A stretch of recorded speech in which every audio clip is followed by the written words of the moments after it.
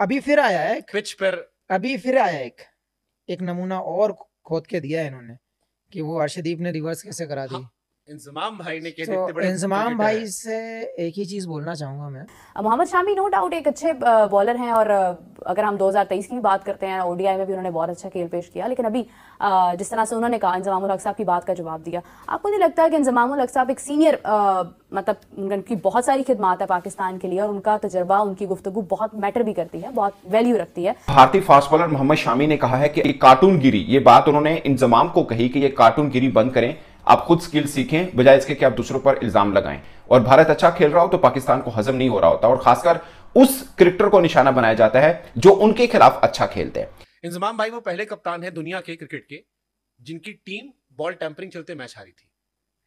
इंजमाम वो- भाई की टीम में और वो भाई ज्ञान दे रहे हैं कि आपने बॉल के साथ कुछ किया है निगाह रखी जाए। वकार भाई पहले बॉलर है और हाँ। शाहिद भाई का तो सेब खाना हम दुनिया ने देखा है। दुनिया ने देखा कितना बढ़िया और वो लोग सिखा रहे हैं कि बॉल से छेड़छाड़ ना की क्योंकि इंजमाम साहब ने कहा हुआ है तो इंडिया के जो फास्ट बॉलर्स हैं उनसे जहाँ कहीं भी इस किस्म का मौका मिलेगा हाँ। तो लोग उनसे सवाल तो करेंगे कि आपके बारे में?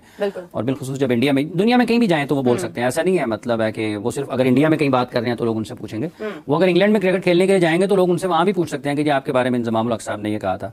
मगर ये जो इंजमाम को उन्होंने जवाब दिया और जिसे बोलते हैं कि बड़ी हार्श वर्ड्स यूज़ किए खासकर उन्होंने अपने बारे में जो उन पर तनकीद हुई उस पर और जो अर्शदीप पर बातचीत हुई कि वो रिवर्स स्विंग जो हो रही है, बॉल को टेम्पर किया गया और ब्ला ब्ला ब्ला, उसके ऊपर भी उन्होंने बोला। तो उन्होंने बोला, एक और नमूना खोद कर दिया है इन्होंने।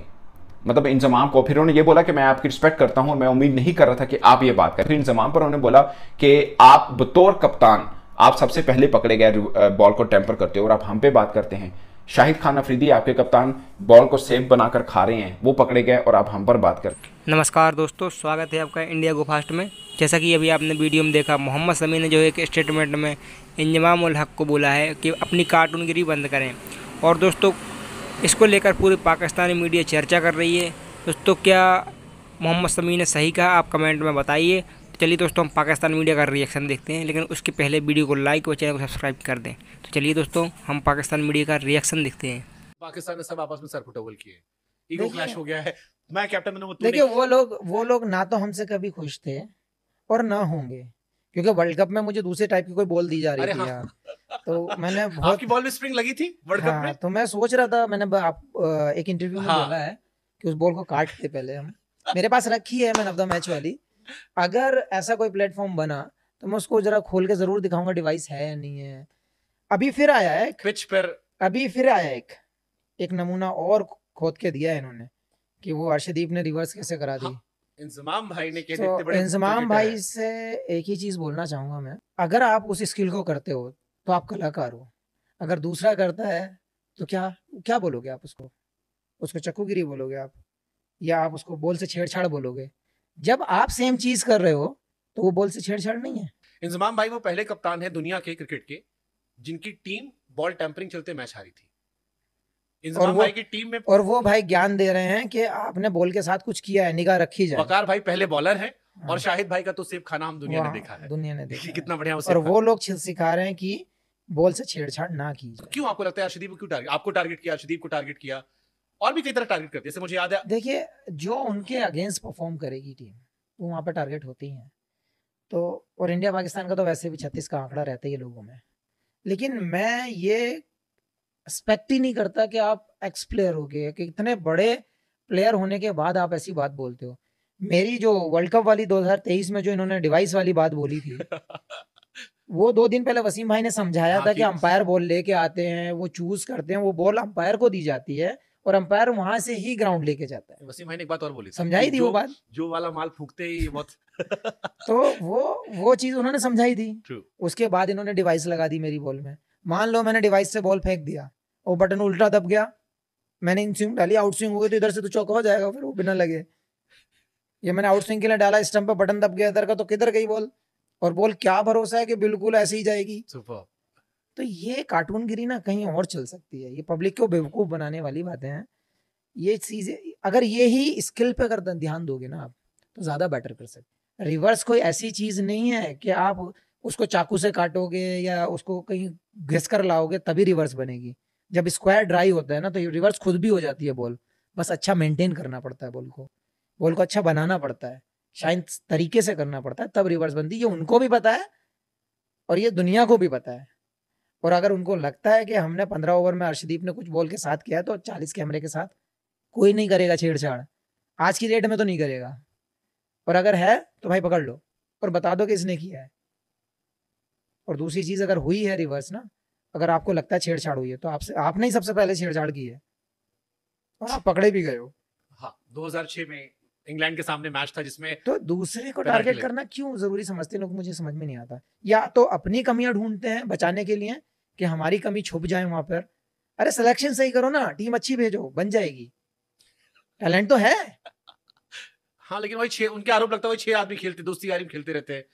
तो रिश्तेदार इकट्ठे कर लो। टीम भी चेंज किया तो सेलेक्ट दो सेलेक्टर को हटा दिया बाबर अभी भी सब है पूरी टीम वही बनी हुई है। तो भाई एक काम करो ना उसको फिर एक खानदान की टीम बना दो ना बात खत्म हो गई। इंडिया के खेल पेश करने के बाद इंजमामुल हक साहब ने कहा कि बॉल टेम्परिंग का जो इल्ज़ाम लगाया था, उसके ऊपर रद्द मलाया, रोहित शर्मा ने भी बताया कि भाई मौसम इस तरह का है वेदर कंडीशन ऐसी हैं कि बॉल जो है वो रिवर्स हो रहा है। उसके बाद अगर हम देखते हैं मोहम्मद शामी से इसके बारे में पूछा गया, उन्होंने इसका जवाब देते हुए कहा कुछ भी नहीं है। अगर मैं, अगर हम खेलते हैं 2025 की चैंपियंस ट्रॉफी तो मैं तीन गेंदे लेकर जाऊँगा और मैं बताऊँगा कि किस तरह से एग्जैक्टली चीज़ें हो रही हैं।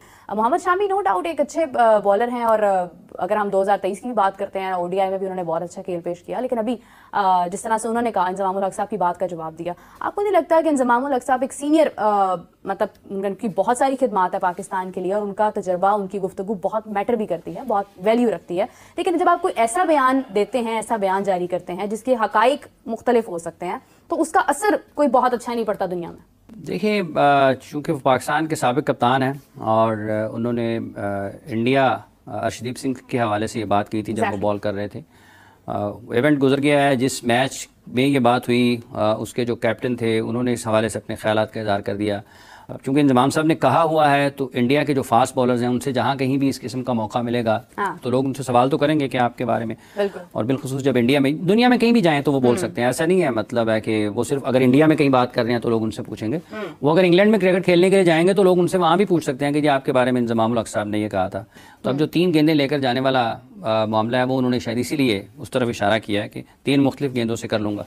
ये रिवर्स स्विंग पाकिस्तान के फास्ट बॉलर्स भी करते रहे हैं। तो अब ये अल्फाज हैं बयान हैं चलते रहेंगे जब तो तक लोग उनको याद रहेंगे लोग पूछते रहेंगे। बिल्कुल सही बात है। ये गुफ्तगू का सिलसिला आपको पता जारी रहता है। अगर मैं पाकिस्तान आया या चैंपियंस ट्रॉफी में हमारा मैच कहीं पर भी हुआ तो बीस तीस बंदों को बीच पंचायत में बिठाकर मैं अपनी वो तीनों बॉल जो 2023 वर्ल्ड कप में जिस, जिससे मैंने आउट किए थे, वो लेके आऊँगा। उन बॉल को मैं खोल के दिखाऊँगा कि इस बॉल में चिप कहाँ पर है। भारतीय फास्ट बॉलर मोहम्मद शामी ने कहा है कि कार्टून गिरी ये बात उन्होंने इंजमाम को कही कि ये कार्टून गिरी बंद करें।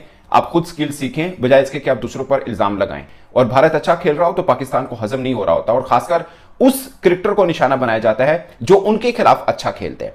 मगर ये जो इंजमाम को उन्होंने जवाब दिया और जिसे बोलते हैं कि बड़ी हार्श वर्ड्स यूज़ किए खासकर उन्होंने अपने बारे में जो उन पर तनकीद हुई उस पर और जो अर्शदीप पर बातचीत हुई कि वो रिवर्स स्विंग जो हो रही है बॉल को टेम्पर किया गया और बला बला बला उसके ऊपर भी उन्होंने बोला।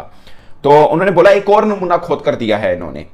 मतलब इंजमाम को। फिर उन्होंने ये बोला कि मैं आपकी रिस्पेक्ट करता हूँ मैं उम्मीद नहीं कर रहा था कि आप ये बात करें। फिर इंजमाम पर उन्होंने बोला कि आप बतौर कप्तान, आप सबसे पहले पकड़े गए बॉल को टेम्पर करते हो और आप हम पे बात करते हैं।